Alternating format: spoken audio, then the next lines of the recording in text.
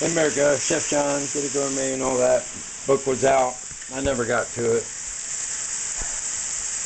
Um, a little tired right now. How we doing? It's Sunday. We're making quiche. Okay. There's my dough rolled out. Ham. The filling. Okay. And also we got some broccoli here. And that's a new spot for you guys, huh? No, can't show that. Grab my book.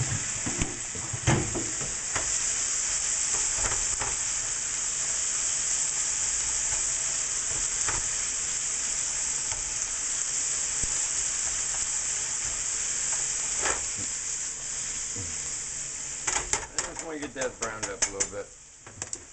Might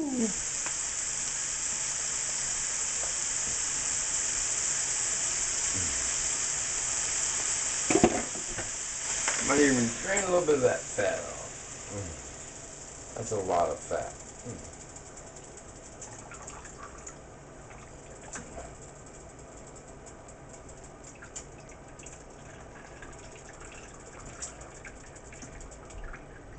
There we go.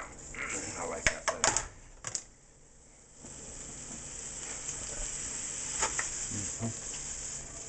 All right. That's it. That's our filling.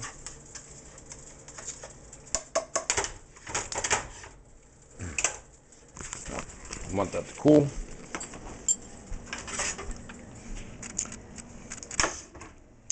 I want to cool quickly. That's for the, um, we're gonna make, um, some sweet rolls with that. Put right there. Alright. Now, over here. Y'all remember the shot glass? Y'all ain't been there, I ain't, you ain't gonna get them. Alright.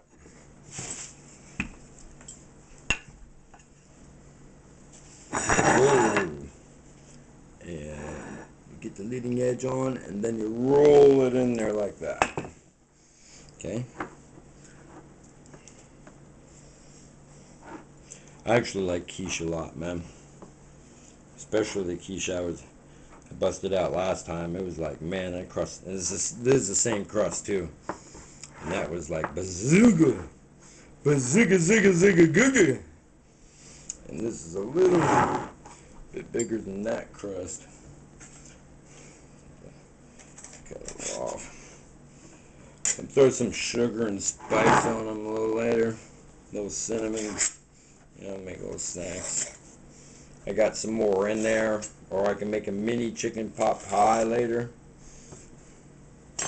Okay. You gotta remember it's gonna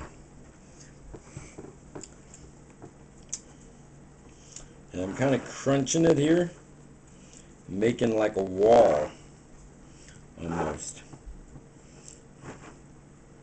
Mm. Not a very pretty one.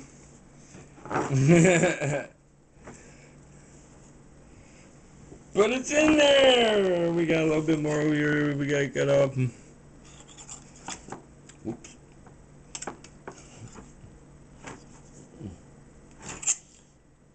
That's one thing about pie dough cutting, man.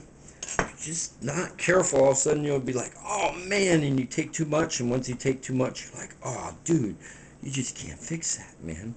Like right there, that was just on the edge almost taking too much. So, right there. Alright. But it's real thick over here. So I'm going to give it a little push towards this side. Make this side a little bit more stable.